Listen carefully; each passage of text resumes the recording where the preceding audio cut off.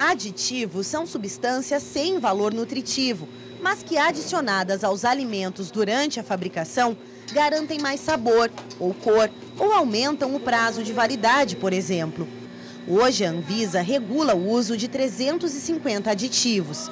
150 são conhecidos como BPF, ou Boas Práticas de Fabricação.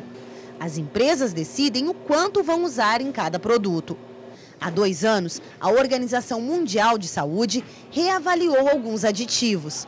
Seis que tinham o uso liberado passaram a ter restrições. Agora, a Anvisa e as agências de vigilância sanitária do Mercosul também adotaram as recomendações da OMS. Entre os aditivos que vão ter a quantidade máxima regulada pela Anvisa, dois são feitos com base no alumínio. Estudos indicam que se esse metal for consumido em excesso, pode causar vários problemas de saúde. Os aditivos com alumínio são usados em alimentos em pó, como sopas, caldos e temperos. Segundo a Anvisa, o consumo dessa substância deve ser de no máximo 60 miligramas por semana. Depois de saber dos riscos, essa dona de casa desistiu da compra. Eu já não vou levar mais. Essa nutricionista explica que não é preciso eliminar o uso desses produtos, basta diminuir as quantidades.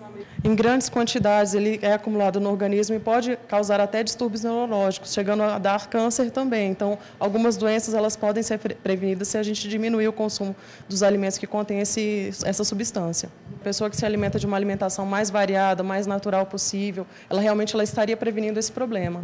Só poderia ocorrer caso se ultrapassasse esse limite. Por isso que o limite foi estabelecido. Daqui a 180 dias, a indústria terá que adequar seus produtos, adequando o limite dos aditivos desses alimentos.